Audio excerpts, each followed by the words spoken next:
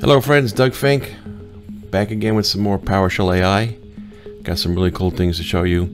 You know, when you struggle at the command line with what flag do I use, what options can I use, and especially when it comes to Git.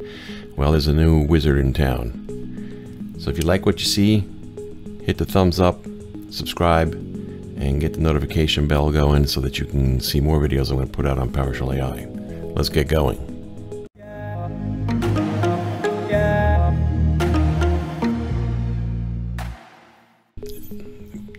PowerShell AI basically it, it integrates ChatGPT in essence the REST APIs into your command line.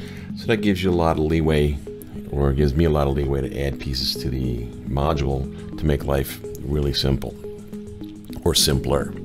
Um, so you ever work with Git and you try to figure out how to do something and then you go off to Stack Overflow or you start Googling around and you know then you got to get figure out well what was I doing and now I have to get back to the console and figure out how to actually execute these things? Well, I've added a new function called git with a question mark. And uh, in quotes, you can basically pose your question. And when you press enter, like here, I'm saying, I want to list remotes. And we'll go off to GPT, and it comes back and it says you can use git, git remote hyphen v. Now, what's cool about the git question mark is you don't have to craft your prompt with you're a Git expert or use Git and you know understand how to use the Git CLI and all its flags. I've already done that for you inside the function itself and you can crack open the module and take a look at that if you want. So this is just a really super handy way to do things. So list remotes, it shows me uh, how to do it. Now I can press enter and I'm going to ask another question. What happens if, what, how, how about if you want to cancel a merge? Okay, so let's ask.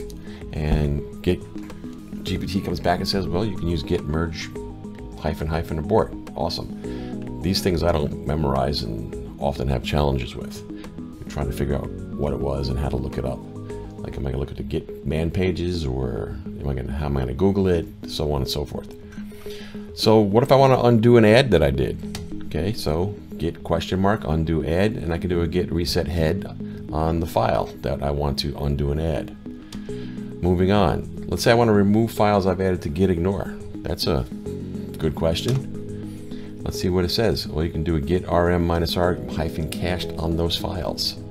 Um, so let's say I want to figure out all the commits. I want to list all my commits. And this is, there we go, git log hyphen hyphen one line. So you can see I'm pressing enter and that the default is to quit. So this is based on the Copilot that I wrote for PowerShell AI uh, and it gives you the options where I can either type in Y to run the command or E, I can further explain it. Uh, C, I can copy to the clipboard. And I have a new feature called VS Code where you can press V and if it's VS Code is installed, you'll get this menu option and then when you press V, it'll actually output it into VS Code for you. Or you can type Q or just press enter to uh, not do anything. So now let's list all commits containing the word fix. Anybody know how to do that off top of your head real quick? Okay, that's how you do that. And then let's do the same one, except by the ones I did. And it adds the hyphen hyphen author. Okay. Now let's do all that, but I only want to output fewer lines when it, when it comes back. Um, not sure that did it. Typically, it would say like a hyphen hyphen one line, but no problem. And that's what I wanted to show you, how to use the Git uh, question mark. Now this also runs on Mac and Linux. Um, so if you're using those and you're using PowerShell, download the PowerShell AI module and uh, see what's going on. Thanks for watching and check out the other videos I have on PowerShell AI goodness and uh, I'll see you on the next one.